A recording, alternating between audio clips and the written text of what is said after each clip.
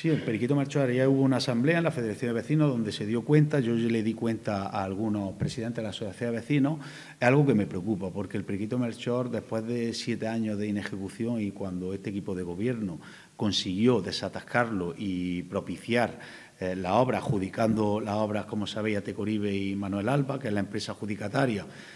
implementar dentro del presupuesto la cuantía suficiente para tanto las expropiaciones como la propia obra, pues nos encontramos con que el único documento que tiene competencia la Junta de Andalucía, que es el libro de diario del arqueólogo, donde día a día va inscribiendo las incidencias que tiene, eh, se pidió el día 19 y a día de hoy todavía no se lo, se lo han dado. Con eso, sin eso no se puede iniciar la obra. Yo estuve hablando la semana pasada con el delegado de Cultura, con José Ayala, que es la,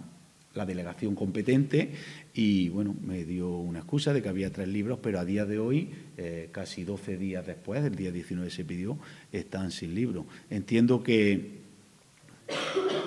por lo menos mi impresión,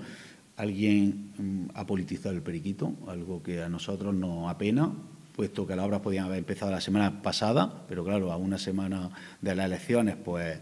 eh, el que tenía la competencia no quiso desarrollar su trabajo y esperemos que, que, suelten el libro